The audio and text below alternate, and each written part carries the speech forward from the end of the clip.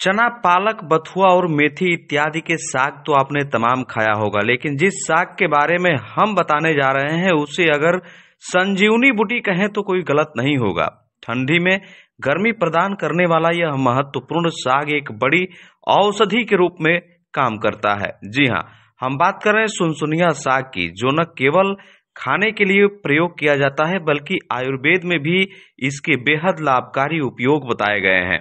इसके साग का सेवन करने से आँखों की रोशनी, पेट के रोग, संक्रमण, यूरिक एसिड और घाव को भरने जैसे तमाम रोगों को जड़ से खत्म करने में कामयाब सिद्ध होता है। जी, मैं डॉक्टर प्रियंका सिंह हूँ। राजकीय आयुर्वेद चिकित्सालय में चिकित्सा अधिकारी के पद पे कार्यरत हूँ। मार्सिलिया एक प्रकार का शाक होता है जिसको कि नॉर्मल भाषा में चौपतिया या सुनसुनिया के नाम से जाना जाता है और आयुर्वेद में चांगेरी सुनिष्णक इन सब नामों से जाना जाता है। इसका तो प्रयोग बहुत सालों से होता आ रहा होगा, लेकिन लोग पहचानते नहीं होंगे। इसका प्रयोग जो है मेनली कि जो आँख नेत्र जो, इसका साग खाने से नेत्र रोग जिनकी ज्योति बढ़ जाती है, आँखों की रोशनी बढ़ती है और अगर इसके स्वरस निकाल लिया, पूरा पंचांग को कूट के इसका रस निकाल लिया जाए और दो दो बूंद आँखों में डाला जाए तो भी नेत्र के लिए बहुत हितकारी होता है।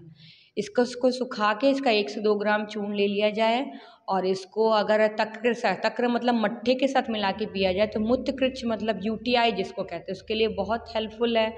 अगर आप इसी के एक से दो ग्राम चूर्ण को सम भाग मिश्री के साथ मिलाकर खाएँगे तो मूत्राघात या जो रीनल कैलकुलस या पथरी की शिकायत होती है, वो दूर हो जाती है।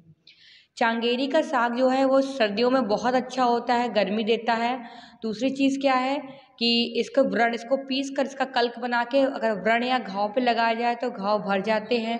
अगर इसको चावल के साथ पका के दिया जाए तो इनडाइजेशन जिसको खाना ठीक से नहीं पचता उसका खाना पचने लग जाता है। सबसे इंपॉर्टेंट बात तो ये है जो आजकल लोगों को बहुत ज़्यादा यूरिक एसिड बढ़ने की शिकायत है, जिसको गाउटी आर्थराइटिस या वात रक्त कहते हैं। अगर इस साग को घी में पका के खाया जाए तो यूरिक एसिड एकदम नॉर्मल हो जाता है। दूसरी चीज़ का आजकल एनजाइटी के कारण लोगों को नींद नहीं आती इंसोमिया की प्रॉब्लम होती है तो भी इस साग को खाएँगे तो उनको नींद ना आने की प्रॉब्लम दूर हो जाएगी। लोकल एटीन के लिए बलिया से सनंदन उपाध्याय की रिपोर्ट।